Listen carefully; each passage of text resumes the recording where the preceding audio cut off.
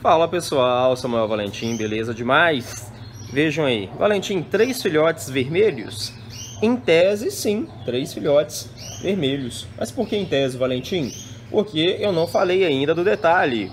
Estes três filhotes, eles vieram de um pai urucum, vermelho urucum intenso. E a mãe desses filhotes é vermelho nevado, fêmea, portadora de urucum. Ué, Valentim, então nenhum nasceu urucum? Não, não quer dizer que todos nasceram urucuns ou 50% urucum, não, quer, não é bem por aí.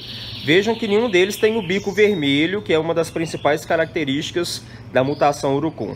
Então todos nasceram vermelhos, podendo ser intensos ou nevados, mas portadores da mutação urucum.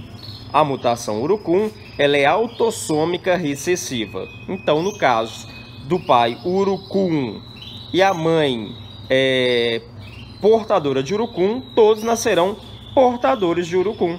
Ou podem nascer simplesmente urucuns. Legal demais? Bacana, isso aí. Vocês já são inscritos no canal? Ainda não? Então se inscreva agora no canal, clique no sininho para ativar as notificações e deixe aquele like amigo se tiverem gostado do conteúdo. Um beijo no coração, até a próxima, valeu!